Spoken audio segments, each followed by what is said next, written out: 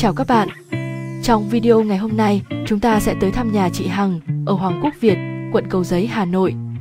Với những hạng mục vừa được hoàn thiện như nội thất phòng khách, phòng ngủ, phòng vệ sinh, tủ bếp.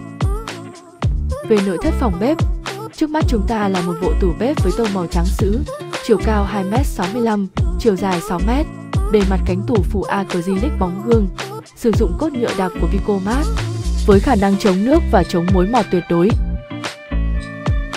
Về các khoang công năng, đầu tiên là tủ kho 3 tầng, phía dưới là khoang chứa lò vi sóng và lò nướng âm tủ.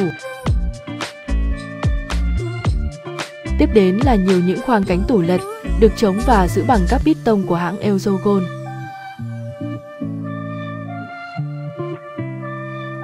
Khoang ô bát Sử dụng giá bắt cố định hai tầng inox 304 xước M, nhập khẩu của hãng Elzogon.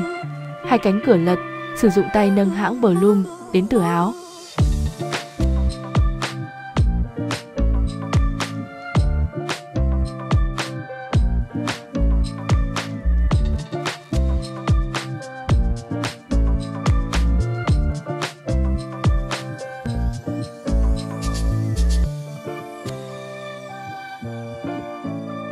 Máy hút mùi, sử dụng kiểu máy âm tủ, có đèn chiếu sáng khu vực chế biến đồ ăn, công suất máy lớn, đến từ thương hiệu của Bosch.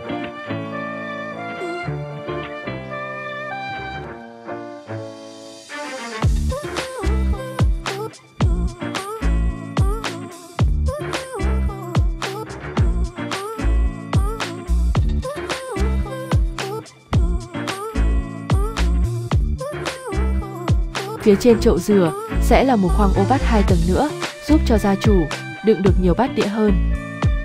Phía trên tủ lạnh, nội thất gia thanh thiết kế một khoang tủ khá rộng với mục đích sẽ đựng những vật dụng lớn và ít khi dùng đến. Chậu rửa sử dụng loại chậu đúc hai vùng dừa chất liệu inox 304 của hãng Corsair. Phía dưới chậu sẽ chứa máy lọc nước và một số vật dụng khác. Bên cạnh là một chiếc máy rửa bát được thiết kế âm tủ khá là hợp lý.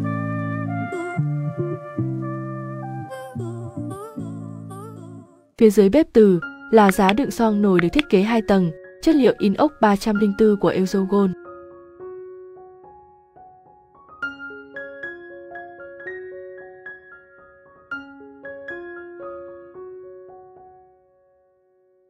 Một phụ kiện không thể thiếu cho tủ bếp, đó là chiếc giá đa năng, có thể đựng rào thớt, đũa, kéo và một số đồ dùng nữa.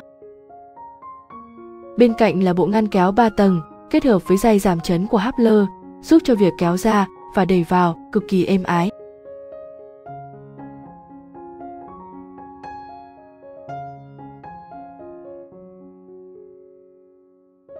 Toàn bộ hệ thống bàn lề cánh cửa được sử dụng loại bàn lề hơi giảm chấn, inox 304 của Elzogon thay thế cho bàn lề cơ bản, kém chất lượng. Phần kính ốp sử dụng kính cường lực dày 8 ly, màu ghi. Mặt bàn đá sử dụng loại đá marble, màu trắng vân mây. Ngoài ra, hệ thống đèn led âm tủ là một điểm nhấn cực kỳ quan trọng cho bộ tủ bếp.